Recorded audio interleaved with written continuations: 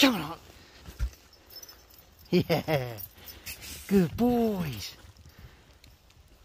That tongue.